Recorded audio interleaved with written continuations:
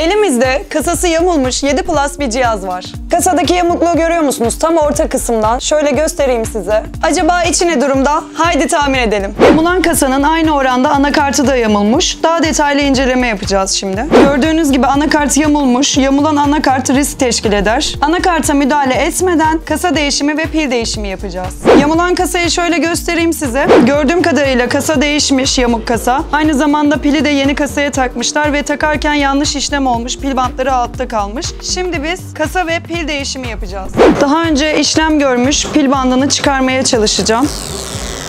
Şu an e, görünürde iki tane pil bandı var. Bakalım kolaylıkla pili çıkartabilecek miyiz?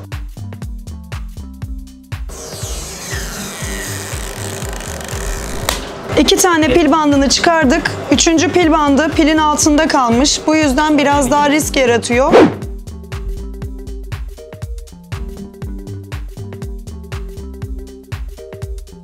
Kasadan çıkan pili şöyle göstereyim size. Bu pil bandı altta kalmıştı. Diğer ikisini de çıkarmaya çalıştık. Bu şekilde bir çıktı. Şimdi yeni kasaya geçiyoruz. Müşterinin isteği üzerine siyah kasaya geçiş yaptık. Şöyle göstereyim size kasayı. Ve şimdi sonuçları görelim. Şarj soketini taktık. Sıra anakartta. Anakartı yeni kasaya yerleştiriyoruz. Yeni pilin bandını yapıştırıyoruz. Son olarak pili kasaya sabitliyoruz. Ve soketi tekrardan çıkartıyoruz. Sıvı ve toza dayanıklı kenar bandını yapıştırıyoruz. Son bir 5 dakika bekleyelim mi? Gördüğünüz gibi kasamızı değiştirdik, ekranımızı monte ettik. Gayet sağlıklı bir şekilde çalışır durumda cihaz. İzlediğiniz için teşekkür ederiz. Hoşçakalın.